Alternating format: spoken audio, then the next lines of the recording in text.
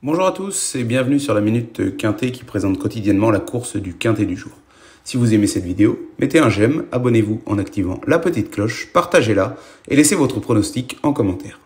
Un tirage au sort aura lieu tous les mois parmi l'ensemble des commentaires avec à gagner 6 mois d'abonnement VIP au site turf-fr.com composé de nos meilleurs pronostics.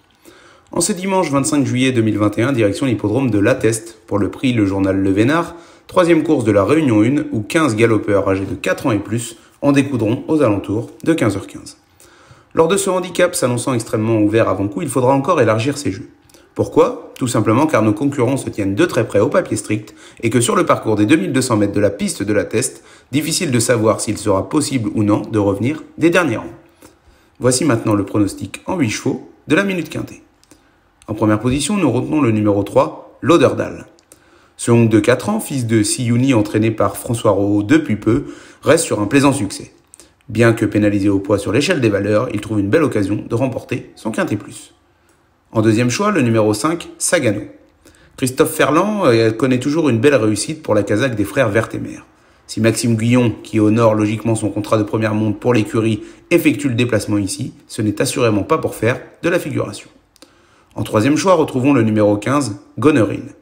Cette femelle de 5 ans, elle aussi entraînée par François Rowe, trouve un magnifique engagement en bas de tableau puisqu'elle est la plus petite valeur handicap du lot. Si Valentin Segui a l'inspiration durant le parcours, elle peut faire tilt.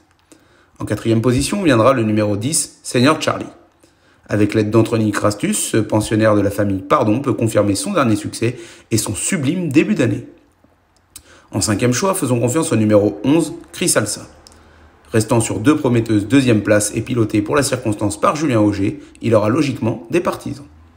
Au sixième rang sera retenue la candidature du numéro 1, Thunderspeed. Il reste sur un plaisant succès et dépend lui aussi du redoutable entraînement Ferland. Si le Enzo Corallo lui donne un bon parcours, il peut lui aussi terminer dans les cinq premiers. En avant-dernier choix, le numéro 9, Prince Anodin. Antoine de Vatrigan fait appel au service de Michael Barzalona et ce n'est assurément pas pour faire de la figuration. Pour clôturer ce pronostic, retenons le numéro 2, Mujik. Supplémenté pour la circonstance et participant pardon, à son premier handicap, il peut compter sur la précieuse aide de Jean-Bernard. En cas de non partant, le numéro 12, Pique-Nique Royal, avec ses fameuses œillères pleines et l'aide de Fabrice Véron, introduira alors notre pronostic en 8 chevaux. Abonnez-vous pour 1 euro sans engagement afin de découvrir notre abonnement VIP.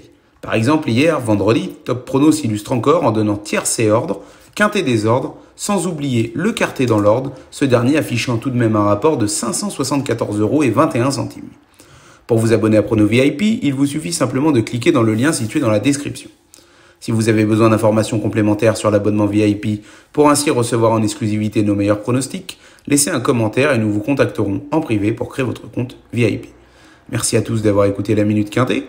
Au passage, n'oubliez pas de vous abonner pour être averti du pronostic de demain en activant la